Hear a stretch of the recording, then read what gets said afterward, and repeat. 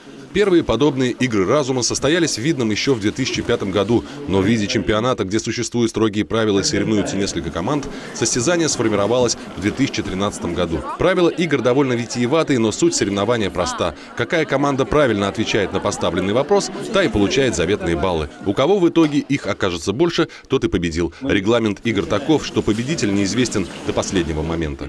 Я знаю, у какой команды какое количество баллов, но это сейчас остается интрига. Более того, я скажу, что э, сейчас финал, э, в финале 70 вопросов, и есть вопросы ценой 10 и 15 баллов, которые могут решить просто все. Команда, которая сейчас находится на седьмом месте, может стать чемпионом.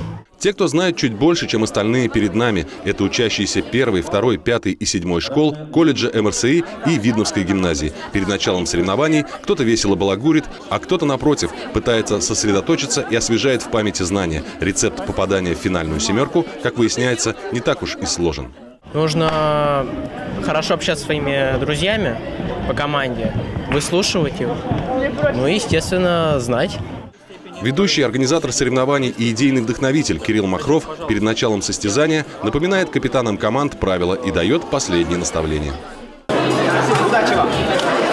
Состязание начинается, и игроки получают первые баллы. Темы, в которых участники команд должны показать свои знания, весьма обширны. Здесь и география, и история, и искусство, и даже иностранные языки и кинематограф.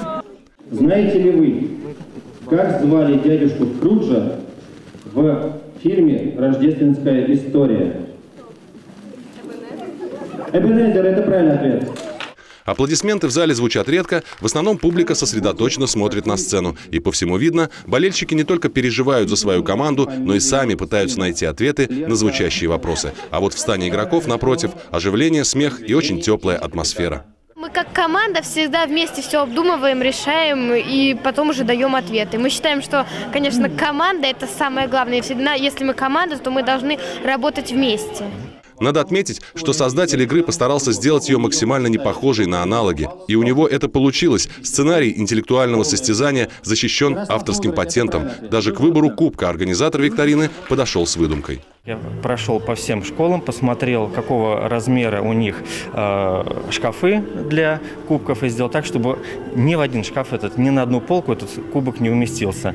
Вот, с тем, чтобы он стоял в отдельном помещении или на отдельном постаменте, ну и чтобы вся школа видела и гордилась то, что у нее есть такая команда, которая может завоевывать такие награды.